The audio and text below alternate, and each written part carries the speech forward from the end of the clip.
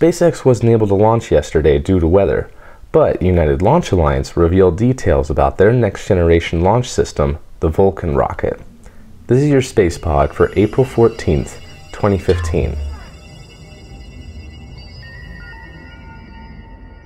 United Launch Alliance CEO Tory Bruno made the announcement yesterday at the 31st Space Symposium in Colorado Springs, where he revealed the name, which was chosen by an online poll that United Launch Alliance had put out, and he also revealed details about how the rocket would be reliable, cost effective, and even reusable. The main impression I got was that this rocket would be modular and evolvable. Tory Bruno stated that they would be using the best technologies of Atlas V and Delta IV and be incorporating several new technologies as well.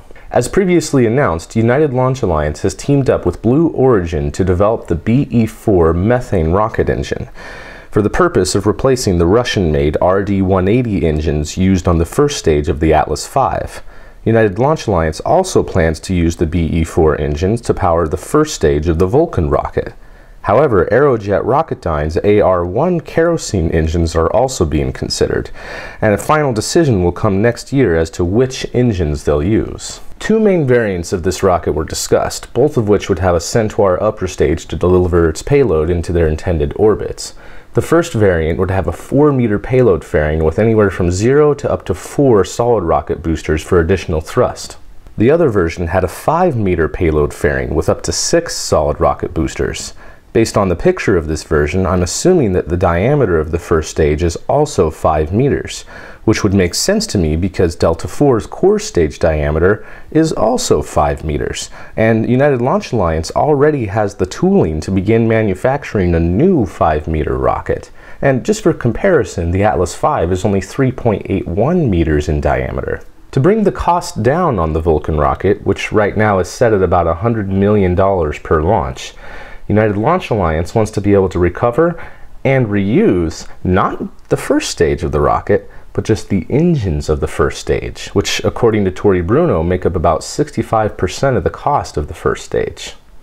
The way that they would plan to recover those engines is during its flight, after the second stage has already separated from the first stage, they would decouple the engines at the intended time, and then a hypersonic inflatable heat shield would deploy and later be jettisoned when the engines reach subsonic speeds. They would be slowed down further by small parachutes and then finally a parafoil, which would probably give them some glideability so that they would be easier to capture mid-air by a helicopter and then recovered and hopefully be recertified for future use. Tory Bruno stated that this method of recovery would bring the cost down significantly, but that they would not attempt to do it on the first flight, which is tentatively scheduled for sometime in 2019. They would probably implement this recoverable technology over, you know, in incremental steps. Another advancement that United Launch Alliance is planning to develop is a new upper stage to replace their Centaur engines. They're calling this new stage the Advanced Cryogenic Evolved Stage, or ACES, and it will feature some planned upgrades including lightweight balloon tanks, 1 to 4 rocket engines supplied by either Aerojet Rocketdyne, XCOR, or Blue Origin, which company and configuration will be decided later. Also, they would use an internal combustion engines to recycle waste propellants back into the fuel tanks to repressurize the tanks. They would also generate electricity, provide attitude control thrust, and enable potentially unlimited engine restarts, which could extend the lifespan and use of that upper stage tremendously. Until the ACES is actually developed, though, they would use Centaur upper stages on all Vulcan flights. Based on their step-by-step approach to advancing the capabilities of this rocket, I would hope that they're also looking to improve in other areas as well, like maybe a Vulcan Heavy option or human rating the rocket. It'd be cool to maybe even have a docking port and some attitude control thrusters on that upper stage so it could be docked with and refueled. Actually, that might have something to do with Lockheed Martin's Jupiter exoliner that was proposed recently. Hmm, very interesting.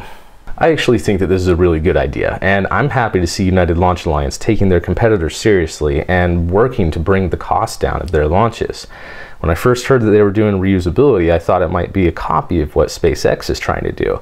But after you're finding out more about what their plans actually are, I can see the merits of it, and I actually support this. I hope that they are able to accomplish this and that they're able to achieve their step-by-step -step goals that they have to having the most advanced rocket that they've flown to date.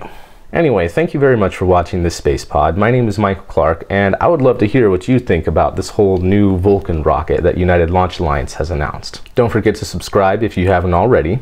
And if you're interested in helping us out to make these space pods, then please visit patreon.com slash spacepod to find out more information about how you can enable us to bring you all sorts of cool space stuff like this.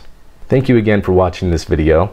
Good luck to United Launch Alliance and also good luck to SpaceX who hopefully will be launching the Falcon 9 rocket today with a Dragon capsule bound for the International Space Station.